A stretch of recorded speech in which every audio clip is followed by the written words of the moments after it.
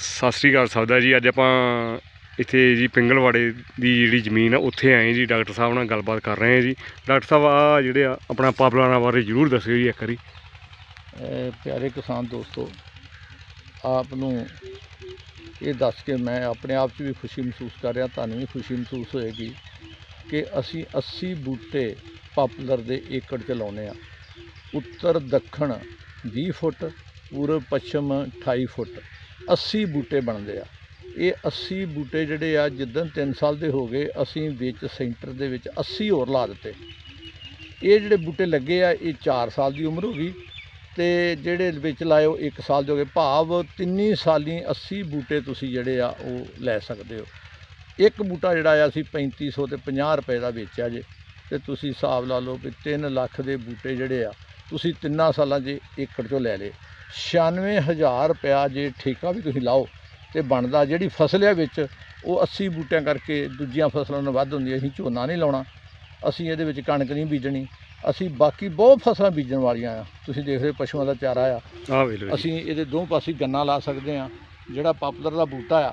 ਉਹ ਤੋਂ 2.5 ਫੁੱਟ ਉਧਰ 2.5 ਫੁੱਟ ਉਧਰ ਤੁਸੀਂ ਗੰਨੇ ਦੀ ਲਾਈਨ ਲਾਓ। 160 ਕੁਇੰਟਲ ਸਾਡਾ ਗੰਨਾ। ਕਾਹਨ ਸਿੰਘ ਜੀ ਪੰਨੂ ਸਣ ਇੱਥੇ ਉਦੋਂ ਡੀਸੀ ਉਹਨਾਂ ਤਲਾਇਆ ਸੀਗਾ। ਹੁਣ ਇਸ ਵੇਲੇ ਇਹਦੇ ਵਿੱਚ ਸ਼ੂਗਰਕੇਨ ਫੋਡਰ ਆ ਇਹ ਚਾਰਾ ਜਿਹੜਾ ਪੰਜਵੇਂ ਸਾਲ ਦੇ ਵਿੱਚ ਆ ਇੱਕ ਸ਼ਾਖਾ ਤੋਂ 80 80 ਜਿਹੜੀਆਂ ਜੀਆਂ ਸ਼ਾਖਾ ਨੈਪੀਅਨ ਬਾਜਰਾ ਨਹੀਂ। ਇਹਨੂੰ ਅਸੀਂ ਸ਼ੂਗਰਕੇਨ ਫੋਡਰ ਕਾਠਾ ਕਮਾਦ ਹੁੰਦਾ ਸੀ, ਜਿਹੜਾ ਬਰੀਕ ਗੰਨਾ ਹੁੰਦਾ ਸੀ, ਉਹਦੀ ਬੜੀ ਫੂਡ ਵੈਲਿਊ ਹੁੰਦੀ ਸੀ। ਇਹਦੇ 'ਚ ਪ੍ਰੋਟੀਨ ਤੇ ਕਾਰਬੋਹਾਈਡਰੇਟ ਦੀ ਮਾਤਰਾ ਬਹੁਤ ਆ। ਮੈਂ ਕਿਸਾਨ ਵੀਰਾਂ ਨੂੰ ਬੇਨਤੀ ਕਰਦਾ ਹਾਂ ਕਿ ਜੇ ਤੁਸੀਂ ਪਾਪੂਲਰ ਲਾਉਣੇ ਆ, ਤੇ ਤੁਸੀਂ 240 220 225 ਨਾ ਲਾਓ। ਤੁਸੀਂ ਉਹ ਪਾਪੂਲਰ ਤਿਆਰ ਕਰਦੇ ਹੋ ਤਕਰੀਬਨ 6 ਤੋਂ 7 ਸਾਲ ਬਾਅਦ। ਫਸਲ ਵਿੱਚ ਤੁਹਾਡੀ ਨਹੀਂ ਹੁੰਦੀ, ਮਾੜੀ ਮੋਟੀ ਤੁਸੀਂ ਕਣਕ ਲੈ ਲੈਂਦੇ ਹੋ, ਜਦੋਂ ਪੱਤੇ ਝੜੇ ਹੁੰਦੇ ਆ। ਤੇ ਇਹਦੇ ਵਿੱਚ ਊਰਜਾ ਪੂਰੀ ਆਉਣੀ ਆ। ਸਨਲਾਈਟ ਹੀ ਸਾਡਾ ਜਿਹੜਾ ਉਹ ਜੀਵਨ ਆ, ਹਰ ਲਿਵਿੰਗ ਥਿੰਗ ਦਾ ਭਾਵ ਜਿੰਨੀਆਂ ਵੀ ਅਸੀਂ ਕੀੜਾ, ਮਕੌੜਾ, ਪੰਛੀ, ਜਾਨਵਰ, ਪਾਣੀ 'ਚ ਰਹਿਣ ਵਾਲੇ, ਸਮਾਨ 'ਚ ਰਹਿਣ ਵਾਲੇ, ਧਰਤੀ 'ਚ ਰਹਿਣ ਜਿੰਨੇ ਵੀ ਆ, ਉਹਨਾਂ ਦੀ ਮਤਲਬ ਜਿਹੜੀ ਉਤਪਤੀ ਹੁੰਦੀ ਆ, ਉਹ ਸਨਲਾਈਟ ਸੂਰਜ ਜਿਹੜਾ ਆ, ਇਹਨੂੰ ਤਾਂ ਹੀ ਸੂਰਜ ਦੇਵਤਾ ਵੀ ਕਹਿ ਦਿੰਦੇ ਆ। ਕਿਉਂਕਿ ਇਹ ਬੜਾ ਜ਼ਰੂਰੀ ਆ ਕਿ ਧੁੱਪ ਜਿਹੜੀ ਆ ਮਿਲਣੀ ਔਰ ਪੌਦਾ ਜਿਹੜਾ 97.5 ਵਾਯੂਮੰਡਲ ਤੋਂ ਖੁਰਾਕ ਲੈਂਦਾ, ਕੋਈ ਵੀ ਫਸਲ ਹੋਵੇ 2.5% ਖੁਰਾਕ ਪੱਤੇ ਰੂਟ ਨੂੰ ਦਿੱਤਾ, ਜੜ੍ਹਾਂ ਤੱਕ ਪਹੁੰਚਾਈ ਔਰ ਉਹ ਮਿਲ ਕੇ ਕੰਮ ਕਰਦੀ ਆ। ਸੋ ਇਹਨੂੰ ਅਸੀਂ ਕੋਈ ਸਪੈਸ਼ਲ ਪਾਣੀ ਨਹੀਂ ਦਿੰਦੇ।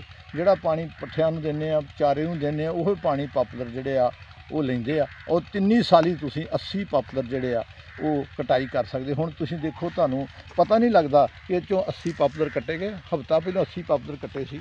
ਆ ਸਾਹਮਣੇ ਲਾਈਆਂ ਆ ਟੋਆ ਜੀ ਸਾਹਮਣੇ ਆ ਦੇਖੋ। ਹਾਂਜੀ ਹਾਂਜੀ। ਉਹ ਟੋਇਆ ਅੱਗੇ ਵੀ ਟੋਇਆ ਹਾਂਜੀ।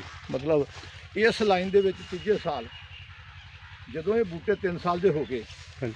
ਆ 1 ਸਾਲ ਦੇ ਹੋ ਗਏ ਨੇ। ਹਾਂਜੀ। 2 ਸਾਲ ਬਾਅਦ 80 ਹੋਰ ਲਾ ਦੇਣੇ ਇੱਥੇ ਹੀ ਜਿੱਥੋਂ ਪੁੱਟੇ ਅਸਾਂ ਹਾਂਜੀ। ਇਹ ਸਾਡੀ ਅਸਾਂ ਤੀਜੀ ਫਸਲ ਜਿਹੜੀ ਆ ਕੱਟੀ ਆ। ਚੌਥੀ ਫਸਲ ਜਿਹੜੀ ਵਿੱਚ ਖੜੀ ਆ ਹਾਂਜੀ। ਤੇ ਜ਼ਿਮੀਂਦਾਰ ਵਾਸਤੇ ਇੰਨਾ ਪ੍ਰੋਫਿਟ ਆ ਕਿ ਫਸਲ ਵੀ ਲਓ ਨਾਲ ਇਹਦੇ ਵਿੱਚ ਹੋਰ ਵਾਤਾਵਰਨ।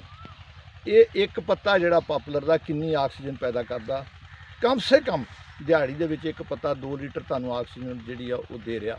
ਔਰ ਪੰਛੀ ਵੀ ਬੈਠਦੇ ਆ ਔਰ ਪੰਛੀ ਵੀ ਸਾਡੇ ਮਿੱਤਰ ਆ ਉਹਨਾਂ ਦਾ ਵੀ ਸਾਡੀ ਜ਼ਮੀਨ 'ਚ ਹਿੱਸਾ ਬੇਸ਼ੱਕ ਰਜਿਸਟਰੀ ਤੁਹਾਡੇ ਨਾਂ ਤੇ ਰੈਵਨਿਊ ਰਿਕਾਰਡ ਦੇ ਵਿੱਚ ਜ਼ਮੀਨ ਤੁਹਾਡੇ ਨਾਂ ਤੇ ਆ ਪਰ ਹਿੱਸਾ ਉਹਨਾਂ ਦਾ ਵੀ ਆ। ਉਹਨਾਂ ਦਾ ਵੀ ਅਧਿਕਾਰ ਬਣਦਾ ਆ। ਔਰ ਉਹ ਕਿੰਨਾ ਇੰਜੋਏ ਕਰਦੇ ਆ, ਫਿਰ ਕਾਰਬਨ ਪੋਲਿਊਸ਼ਨ ਇਹ ਘਟਾਉਂਦੇ ਆ, ਬਰਸਾਤ ਲਿਆਉਣ ਚ ਸਹਾਈ ਹੋ ਰਹੇ ਪੌਦੇ, ਮਤਲਬ ਭਾਵ ਪੌਦੇ ਸਾਡੀ ਧਰਤੀ ਦਾ 1/3 ਏਰੀਆ ਟੱਕਿਆ ਹੋਣਾ ਚਾਹੀਦਾ ਸੀ। ਮੈਦਾਨੀ ਦੇ ਵਿੱਚ ਥੋੜਾ ਘੱਟ ਪਹਾੜੀ ਦੇ ਵਿੱਚ ਵੱਧ, ਔਰ ਇਸ ਵੇਲੇ 5.1 ਜਿਹੜੇ ਪੌਦੇ ਜਿਹੜੇ ਆ, ਉਹ ਰਹਿ ਗਏ। ਕਦੀ ਅਸੀਂ ਫੋਰ ਲਾਈਨ ਸੜਕ ਬਣਾਉਣੀ ਆ, ਤਾਂ ਪੌਦੇ ਕੱਟ ਦਿੰਦੇ ਆ। ਕਦੀ ਅਸੀਂ ਹੋਰ ਪ੍ਰੋਜੈਕਟ ਲਾਉਣਾ, ਕਲੋਨੀਆਂ, ਤਾਂ ਪੌਦੇ ਕੱਟ ਦਿੰਦੇ ਆ। ਅਸੀਂ ਬੋਰਡ ਪੇਪਰ ਕੱਟਿਆ ਜੇ ਤੁਸੀਂ ਓਡਾ ਬੋਰਡ ਪਿੱਪਲ ਪੈਦਾ ਕਰਨਾ ਜਿੱਦਾਂ ਕੱਟਿਆ, ਤੇ ਉਹਦੇ ਲਈ 100 ਸਾਲ 150 ਸਾਲ ਲੱਗੇਗਾ। ਇਸ ਤਰ੍ਹਾਂ ਹੀ ਦੂਜੇ ਪੌਦੇ ਜਿਹੜੇ ਆ, ਕਿਸੇ ਦੀ ਉਮਰ ਜਿਹੜੀ ਆ, ਉਹ 15 ਤੋਂ 20 ਸਾਲ ਆ, ਕਿਸੇ ਦੀ 50 ਸਾਲ ਆ, ਕਿਸੇ ਦੀ 40 ਸਾਲ ਆ। ਜਿਵੇਂ ਗੁਰੂ ਗ੍ਰੰਥ ਸਾਹਿਬ ਦੇ ਵਿੱਚ ਵੀ ਪੌਦਿਆਂ ਦੀ ਉਸਤਤ ਹੈਗੀ ਆ, ਉਹਦੇ ਵਿੱਚ ਜਿਵੇਂ ਮੌਲਸਰੀ ਦਾ ਪੌਦਾ ਆ। ਤੁਸੀਂ ਦੇਖੋ ਪੱਟਾਂ ਦੀ ਬਾਣੀ ਦੇ ਵਿੱਚ ਮੌਲਸਰੀ ਦੇ ਪੌਦੇ ਦੀ ਉਸਤਤ ਆ। ਇਹ ਪੌਦੇ ਜਿਹੜੇ ਆ, ਇਹ ਸਾਡਾ ਜੀਵਨ ਨੇ, ਹਾਂਜੀ।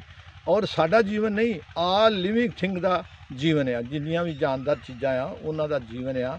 ਕਿਉਂਕਿ ਬਾਬਾ ਜੀ ਨੇ ਕਿਹਾ ਸੀ ਪਵਨ ਗੁਰੂ ਪਾਣੀ ਪਿਤਾ ਧਰਤੀ ਮਾਤਾ। ਬਾਬਾ ਜੀ ਨੇ ਕਿਹਾ ਸੀ ਕਿ ਤੁਸੀਂ ਪਵਨ ਨੂੰ ਗੁਰੂ ਮੰਨੋ ਹਵਾ ਜਿਹੜੀ ਆਕਸੀਜਨ ਸਾਨੂੰ ਮਿਲ ਰਹੀ ਆ। ਪਾਣੀ ਨੂੰ ਪਿਤਾ ਮੰਨੋ ਤੇ ਧਰਤੀ ਨੂੰ ਮਾਤਾ ਕਿਉਂਕਿ ਜੇ ਚੋਂ ਆਏ ਉਹ ਚੋਂ ਵਾਪਸ ਜਾਣਾ। ਸਾਰਿਆਂ ਨੇ ਬਹਿਣਾ ਕਿਸੇ ਨਹੀਂ ਇੱਥੇ। ਬਸ ਸਾਡਾ ਇੱਕ ਪੀਰੀਅਡ ਆ। ਉਹ ਔਰ ਸਾਨੂੰ ਇਹ ਜ਼ਰੂਰ ਧਿਆਨ ਦੇਣਾ ਚਾਹੀਦਾ ਕਿ ਵਾਤਾਵਰਨ ਨੂੰ ਸਵਸਥ ਕਿੱਦਾਂ ਰੱਖਿਆ ਜਾ ਸਕਦਾ, ਜੇ ਅਸੀਂ ਜੀਵਨ ਜੀਣਾ ਆ, ਜੇ ਅਸੀਂ ਬਚਣਾ ਆ, ਔਰ ਕਰ ਭਲਾ ਹੋ ਭਲਾ, ਅੰਤ ਭਲੇ ਦਾ ਭਲਾ। ਜੇ ਅਸੀਂ ਆਪਣਾ ਹੀ ਭਲਾ ਸੋਚਣਾ ਤੇ ਦੂਜੇ ਦਾ ਭਲਾ ਨਹੀਂ ਸੋਚਣਾ, ਤੇ ਫਿਰ ਇਹ ਸਾਡਾ ਜੀਵਨ ਨਹੀਂ। ਜੇ ਦੂਜੇ ਨੂੰ ਅਸੀਂ ਦੁੱਖਾਂ ਦੇ ਵਿੱਚ ਪਾਉਨੇ ਆ, ਤੇ ਉਹਨਾਂ ਦੁੱਖਾਂ ਦਾ ਸਾਨੂੰ ਵੀ ਰਿਜ਼ਲਟ ਮਿਲਣਾ ਆ। ਇਹ ਸਾਨੂੰ ਸੋਚ ਲੈਣਾ ਚਾਹੀਦਾ। ਬਾਬੇ ਦੀ ਬਾਣੀ ਨੂੰ ਮੇਰੀ ਹੱਥ ਜੋੜ ਕੇ ਬੇਨਤੀ ਆ ਕਿ ਤੁਸੀਂ ਉਹਨੂੰ ਪੜ੍ਹ ਕੇ ਤੇ ਵਿਚਾਰੋ ਵੀ ਪੜ੍ਹਦੇ ਹੋ ਤੁਸੀਂ? ਪਰ ਵਿਚਾਰਦੇ ਨਹੀਂ ਵਿਚਾਰਨਾ ਜਿਹੜਾ ਆ ਬਾਬੇ ਦੀ ਬਾਣੀ ਨੂੰ ਬਹੁਤ ਜ਼ਰੂਰੀ ਆ, ਉੱਤੇ ਅਸੀਂ ਕੰਮ ਕਰੀਏ। ਔਰ ਸਾਡੇ ਸਾਰੇ ਦੁੱਖ ਕਲੇਸ਼ ਹੀ ਮਿਟ ਜਾਣਗੇ। ਰੋਜ਼ ਕਥਾ ਹੁੰਦੀ ਆ ਔਰ ਮੰਜੀ ਸਾਹਿਬ ਦੀ ਕਥਾ ਦੇ ਵਿੱਚ ਕਿੰਨੇ ਸਾਨੂੰ ਉਪਦੇਸ਼ ਮਿਲ ਰਹੇ ਹੁੰਦੇ ਆ।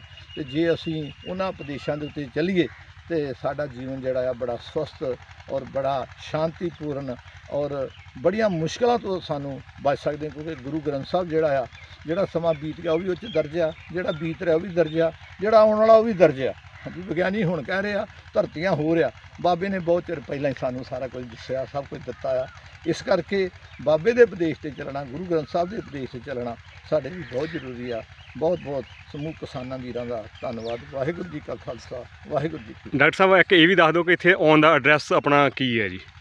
ਸਾਡਾ ਐਡਰੈਸ ਇਹ ਹੈਗਾ ਜੀ ਤੁਸੀਂ ਜਦੋਂ ਜੇਕਰ ਤੁਸੀਂ ਇਧਰੋਂ ਆਉਣਾ ਤਰਨਤਾਰਨ ਵੱਲੋਂ ਤੇ ਤੁਸੀਂ ਜੰਡਿਆਲੇ ਆ ਜਾਓ ਅੰਮ੍ਰਿਤਸਰ ਮੱਥਾ ਟੇਕ ਕੇ ਆਓ ਤਾਂ ਹੋਰ ਵਧੀਆ ਗੱਲ ਹੈ। ਗੁਰੂ ਘਰ ਦੇ ਵੀ ਦਰਸ਼ਨ ਕਰਕੇ ਆਓ। ਫਿਰ ਤੁਸੀਂ ਅੰਮ੍ਰਿਤਸਰ ਤੋਂ 10 ਕਿਲੋਮੀਟਰ ਜੀਟੀ ਰੋਡ ਤੇ ਆਓਗੇ ਤੇ ਨਹਿਰ ਦੇ ਥੱਲੇ ਬਿਲਕੁਲ ਖੱਬੇ ਹੱਥ ਇਹ ਪਿੰਗਲਵਾੜੇ ਦਾ ਫਾਰਮ ਆ ਭਗਤ ਪੂਰਨ ਸਿੰਘ ਕੁਦਰਤੀ ਖੇਤੀ ਫਾਰਮ ਭਗਤ ਜੀ ਦੇ ਵਿਦੇਸ਼ ਤੇ ਚੱਲਦੇ ਹਾਂ। ਬੀਬੀ ਇੰਦਰਜੀਤ ਕੌਰ ਨੇ ਬੜੀ ਹਿੰਮਤ ਦੇ ਨਾਲ ਇਹ ਫਾਰਮ ਜਿਹੜਾ ਸੀ, ਇਹ ਖਰੀਦਿਆ ਔਰ ਮੇਰੀ ਡਿਊਟੀ ਲਾਈ ਵੀ ਅਸੀਂ ਇੱਥੇ ਕੁਦਰਤੀ ਖੇਤੀ ਕਰਾਂਗੇ। ਭਾਵ ਕਿ ਕੀੜੇ ਮਾਰ ਦਵਾਈਆਂ ਤੋਂ, ਖਾਦਾਂ ਤੋਂ ਅਸੀਂ ਬਚਾਂਗੇ। ਅਸੀਂ 2007 ਤੋਂ ਜਿਹੜੀ ਹੈ, ਇਹ ਫਾਰਮਿੰਗ ਜਿਹੜੀ ਆ ਕਰ ਰਹੇ ਹਾਂ ਔਰ ਬਹੁਤ ਸਾਰੇ ਸਾਡੇ ਵਧੀਆ ਰਿਜ਼ਲਟ ਨੇ। ਹਾਂਜੀ, ਅਸੀਂ ਕਣਕ ਵੀ 2.5 ਕਿਲੋ ਕਿੱਲੇ ਦੀ ਬੀਜਦੇ ਹਾਂ। ਔਰ ਤੁਹਾਨੂੰ ਹੈਰਾਨੀ ਹੋਏਗੀ ਕਿ ਤੁਸੀਂ 50 ਕਿਲੋ 45 ਕਿਲੋ 40 ਕਿਲੋ ਬੀਜਦੇ ਹੋ। ਅਸੀਂ 2.5 ਕਿਲੋ ਵੀ ਕਿੱਲੇ ਦੀ ਕਣਕ ਬੀਜਦੇ ਹਾਂ। ਔਰ ਪਾਪੂਲਰਾਂ ਦਾ ਵੀ ਸਾਡੇ ਕੋਲ ਮਾਡਲ ਆ। ਗੰਨਾ ਤੁਹਾਡੇ ਸਾਹਮਣੇ ਆ। ਹਾਂਜੀ। ਗੰਨੇ ਦੇ ਵਿੱਚ 12 ਫਸਲਾਂ ਨੇ। ਹਾਂਜੀ। ਹਾਂਜੀ। ਦੋ ਕਨਾਲ ਗੰਨਾ ਆ ਔਰ 400 ਕੁਇੰਟਲ ਗੰਨਾ ਦੋ ਕਨਾਲਾਂ ਦੇ ਵਿੱਚੋਂ ਜਿਹੜਾ ਸੀ ਉਹ ਡਿਪਾਰਟਮੈਂਟ ਨੇ ਤੋੜ ਕੇ ਸਾਨੂੰ ਸਰਟੀਫਿਕੇਟ ਇਸ਼ੂ ਦਿੱਤਾ ਸੀ। ਔਰ ਅਸੀਂ ਉਹ ਕਿਤਾਬ ਦੇ ਵਿੱਚ ਸਰਟੀਫਿਕੇਟ ਜਿਹੜਾ ਉਹ ਛਪਾਇਆ ਵੀ ਹੋਇਆ। ਪੰਜਾਬ ਐਗਰੋ ਵੀ ਸਾਡੇ ਕੋਲ ਆਉਂਦੀ ਰਹਿੰਦੀ ਆ, ਮੈਨੂੰ ਵੀ ਪੰਜਾਬ ਐਗਰੋ ਵੱਖ-ਵੱਖ ਜ਼ਿਲ੍ਹਿਆਂ 'ਚ ਬੁਲਾਉਂਦੀ ਰਹਿੰਦੀ ਆ।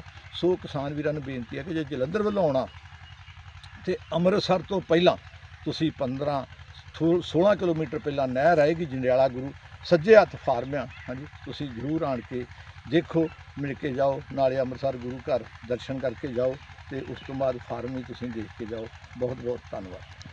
ਧੰਨਵਾਦ ਡਾਕਟਰ ਸਾਹਿਬ ਤੁਹਾਡਾ ਜੀ।